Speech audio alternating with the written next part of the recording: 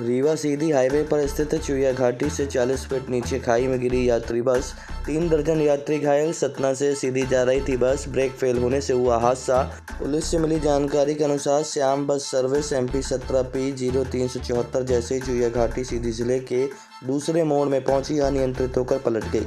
घटना की वजह बस का ब्रेक फेल होना फ़िलहाल बताया जा रहा है।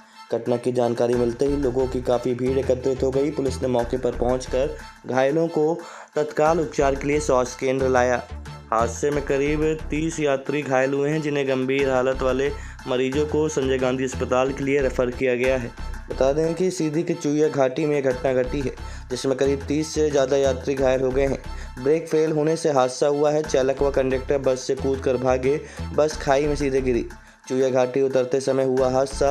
सतना सीधी जा रही थी और बस कहाँ से कहाँ जा रही थी कैसे एक्सीडेंट हुआ बताइए। सतना सीधी जा रही थी और जब बघवार साइड जब पहाड़ के नीचे ब्रेक फेल हो गया उसके ड्राइवर और कंडक्टर कूद गए थे बस सीधे खाई में गिर गई।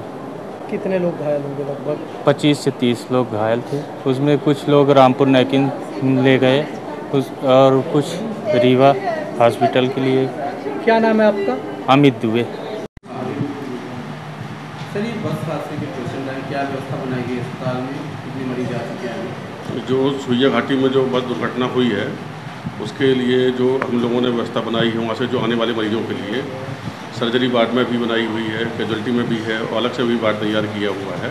व्यवस्था पर्याप्त बनाई गई है और अभी लगभग मेरे ख्याल से नौ से दस पेशेंट अभी आ चुके हैं जिनमें से कुछ तो ठीक है ज़्यादा चोट नहीं है और कुछ एक दो थोड़ा सा सीरियस है तो उनको आई में किसी को एडमिट कर दिया गया है और ऊपर सर्जरी वार्ड में हुए पेशेंट आने की उम्मीद हाँ। बिल्कुल संभावना है बताया गया था जिस तरीके से चालीस लोग वहाँ हैं दिवस में चालीस घायल हुए थे तो और भी पेशेंट आ सकते हैं अभी नौ दस पेशेंट आ चुके हैं। बच्चे लोग भी घायल हुए हैं। बच्चे भी हैं उसमें कुछ बड़े भी हैं।